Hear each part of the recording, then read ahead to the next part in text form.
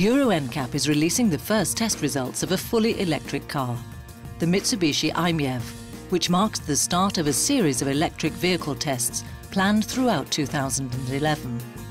As testing electric vehicles is new to Euro NCAP, additional preparations and precautions are taken while testing the cars in the laboratories to ensure safety before, during and after testing for all persons involved.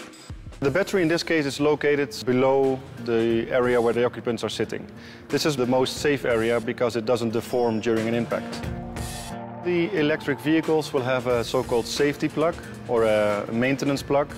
In this case, that safety plug will automatically disconnect the battery uh, during impact at the same time as the airbags will be deploying. So here's the indicator light which will tell us uh, whether the automatic disconnect function of the battery has actually worked during the crash test. During the test, for instance, we have the fire department ready to help us if there is anything happening. After the test, we have somebody with protective clothing on who will uh, measure if there is any voltage on the vehicle itself. Electric vehicles should meet the same safety standards as other conventional vehicles. Euro NCAP tests plug-in vehicles with live batteries at laboratories with specially trained personnel. But the cars are exposed to the same testing conditions as other cars in the programme. The vehicles undergo the full-scale tests, including frontal, side, pedestrian, pole and ESC tests.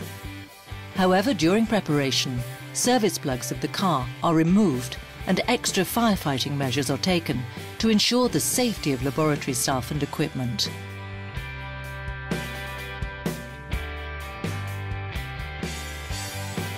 The European New Car Assessment Programme is publishing the results of the Mitsubishi i-MiEV.